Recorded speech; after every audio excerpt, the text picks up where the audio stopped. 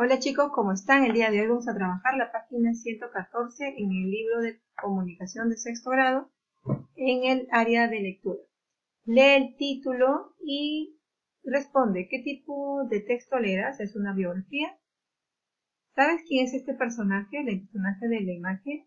No, yo sé que es un personaje nuevo, es muy reconocido en Estados Unidos. A ver, completa el cuadro. Lo que sabes, bueno, sabemos que es un personaje de Estados Unidos lo que quieren saber es la importancia de por qué tenemos que leer sobre él y lo que has aprendido después de la lectura, claro está. El título es Martin Luther King, defensor de los derechos civiles de los negros. Nació en Atlanta, Estados Unidos, el 15 de enero de 1929. Su infancia y su juventud estuvieron marcados por los prejuicios raciales. Todos los días, pequeñas cosas le recordaban que ser negro Suponía ser un ciudadano de segunda clase. Creció con la segregación racial. Solo podía utilizar puentes y cuartos de baño públicos reservados para negros. Si quería ver una película, no podía sentarse en el patio de butaca. Blancos y negros no podían ir juntos a la escuela ni utilizar las mismas bibliotecas, ni pasear por los mismos parques. ¿Viste? Todo el prejuicio que se vivía, la discriminación. Estudió en Brooklyn, Washington, High School, High School de Atlanta. Entró en el Morehouse School, una universidad reservada a los jóvenes negros. A los 15 años de edad, sin haberse graduado formalmente en secundaria. En el año de 1948 se graduó, en Sociología. En 1951 obtuvo la licenciatura en Teología y en 1955 recibió el grado de doctor en Filosofía. Se casó el 18 de junio de 1953 con Coretta Scott y tuvieron cuatro hijos. A los 25 años se convirtió en pastor de la Iglesia Bautista en Montgomery. Muy pronto dio muestras de su carisma y su firme decisión de luchar por la defensa de los derechos civiles con métodos pacíficos, inspirándose en la figura de Muhammad Gandhi. En agosto de 1955, una humilde modista negra, Rosa Parks, fue detenida y multada por sentarse, mira, en la sección reservada para blancos de un autobús. Martin Luther King dirigió un masivo boicot contra la segregación en los autobuses municipales, que duró 382 días y que provocó incluso que la casa de King fuera atacada con bombas incendiarias. El boicot terminó gracias a una decisión de la Corte Suprema de los Estados Unidos, el 13 de noviembre de 1956, que declaró ilegal la segregación en los autobuses, restaurantes, escuelas y otros lugares públicos. En 1957, Luther King participó en la fundación de la Conferencia Sur de Liderazgo Cristiano, un grupo pacifista del que sería presidente hasta su muerte creado para participar activamente en el movimiento de los derechos civiles. A pesar de la vigilancia a la que le sometió el FBI, Luther King continuó con las protestas no violentas. Organizó y dirigió marchas por los derechos al voto de los afroamericanos, la desegregación, el derecho al trabajo y otros derechos del hombre básicos. Y en algunas ocasiones y en alguna ocasión fue detenido. El 28 de agosto de 1963, delante del monumento de Abraham Lincoln en Washington, durante una histórica manifestación de más de 200.000 personas, 200.000 personas, en pro de los derechos civiles para los negros en Estados Unidos, Luther King pronunció el hermoso y conmovedor discurso. Tengo un sueño, sobre el trabajo y la libertad.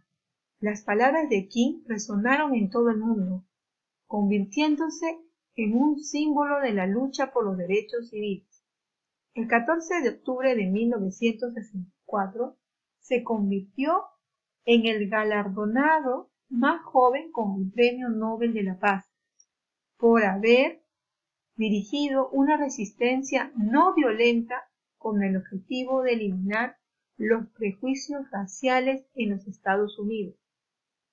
El 4, el 4 de abril de 1968, Martin Luther King fue asesinado por un segregacionista blanco en el balcón de, de su motel. El asesino provocó una oleada de motines raciales en 60 ciudades de los Estados Unidos. Cinco días más tarde, el presidente Johnson decretó un día de luto nacional en honor de Martin Luther King. Aunque King no vio su sueño realizado, en Estados Unidos se le recuerda como uno de los mayores líderes y héroes nacionales porque fue un hombre que se mantuvo fiel a sus creencias religiosas, a sus principios de protesta no violenta y a su visión de la libertad y la igualdad. Sí, chicos, ahora, por ejemplo, en Estados Unidos se está viviendo la, digamos, de alguna manera, eh, la discriminación hacia un grupo de personas afroamericanas. Pero en estos momentos donde la libertad de expresión ya es válida, se hacen reclamos y se hacen huelgas para que se reconozcan los derechos civiles, porque sea como sean niños, todos somos iguales. No importa el color de la piel, no importa la nacionalidad, todos somos iguales, así que debemos merecer los mismos derechos. Bueno, vemos la importancia de este hombre, así que ahora nos toca contestar. Dice, Nivel literal. Averigua en el diccionario y escribe el significado de las siguientes palabras. ¿Qué significa prejuicio, segregación, racial, fuente, pro, galardonar? Por ejemplo, prejuicio significa eh, opinión preconcebida de algo. ¿Ya? Segregación es selección, discriminación. Muy bien, después vas a buscar aquí Deduce el significado de las siguientes palabras y relacionas según corresponde. ¿Qué es la sociología? La sociología es la ciencia que trata de la estructura y funcionamiento de las sociedades humanas. ¿Qué es un líder? Persona que dirige o conduce un partido político, un grupo social u otra colectividad. Muy bien, tú vas a hacer el resto Después, escribe en tu cuaderno, no lo vas a hacer, vas a completar acá, dice aquí. Identifica la información del texto y marca la respuesta correcta. La infancia y juventud de Martin Luther King estuvo marcada por quién? ¿Qué había en su infancia? Tú hazlo solo. Martin Luther King luchó por la defensa de los derechos civiles con métodos pacíficos, inspirados en una figura. ¿Cómo se llamaba ese señor? Muhammad muy bien, ahora vamos a trabajar con el, con el pupilete que tenemos acá. Dice, localiza la información de la lectura y completa el crucigrama sobre Martin Luther King. A ver, dice, primero, causa que defendió los derechos civiles, país donde se, se, le recuerda como un gran líder y héroe los Estados Unidos. Estados Unidos. Estados Unidos. Se licenció en la especialidad de la C. ¿Dónde está? Teología. Lugar de nacimiento, que es la de, de Atlanta. E. En horizontal. Galardón que recibió por defender los derechos civiles de los negros. Se llamó Premio Nobel de la Paz. Muy bien tú vas a tener que trabajar con el resto de las preguntas y dice aquí, recupera información y responde. ¿Qué suceso le motivó a Luther King llevar a cabo protestas no violentas? ¿Qué le sucedió a una de sus, eh, digamos, a una de sus vecinas, a una señora estaba muy cansada y quería sentarse? ¿Qué le sucedió? Eso tienes que explicar acá. Marca con un aspa la respuesta correcta. ¿Qué tipo de texto has leído? ¿Es un cuento? ¿Es una fábula, una biografía o una poesía? Es una Biografía. ¿Cuál es el objetivo del texto leído? Conocer las diferentes diferencias raciales que existieron en Estados Unidos, presentar información acerca de la vida de Martin Luther King o identificar los derechos civiles de los negros. ¿Cuál será el objetivo? Ya está. Responde, deduce y responde la siguiente pregunta. ¿Cuál era el deseo de Martin Luther King? Está entre comillas en el texto, ¿ah? Muy bien. Seguimos. ¿Por qué crees que Luther King, Martin Luther King, a pesar de que su vida estaba en riesgo, continuó luchando por los derechos civiles de los negros? ¿Por qué? Ser un ciudadano de segunda clase significa, ¿qué significa ser un ciudadano de segunda clase? Que es menospreciado. Deduce y marca con hasta la respuesta correcta. ¿Por qué se dice que Martin Luther King es el defensor de los derechos civiles de los negros?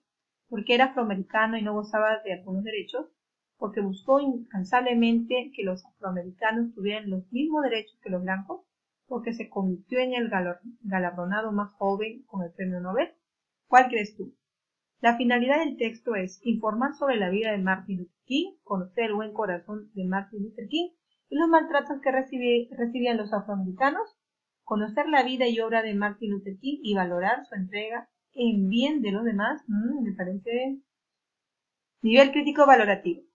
Esta parte de aquí no la vas a hacer, solamente acá. Reflexiona y responde. ¿Crees que es importante respetar los derechos de los demás? ¿Sí o no? Si vas a responder sí, ¿por qué? Y si vas a responder no, ¿por qué? ¿Qué opinas de la segregación racial? Segregación quiere decir selección por un lado un grupito y por otro lado otro grupito. ¿Ya? O sea, en esa parte te dice, ¿qué opinas de las personas que se diferencian de otras por su raza? Porque eres más clarito, porque eres más oscurito. O sea, si yo soy más clarito solamente con el grupo de los claritos. ¿Qué, te, qué opinas de ese tipo de cosas? ¿Debemos separarnos por razas, por el color de nuestra piel? ¿Hizo bien Martin Luther King al reclamar los derechos civiles de los negros? ¿Hizo bien al reclamar eso? ¿Sí o no? ¿Tú qué crees? Bien, vas a contestar aquí por Bueno chicos, los dejo. Muchas gracias por haberme escuchado. Espero que realicen bien la tarea. Es una lectura muy, muy importante y es una lectura que nos va a ayudar a nosotros a siempre buscar la libertad y defender nuestros derechos. Bueno, me despido. Adiós.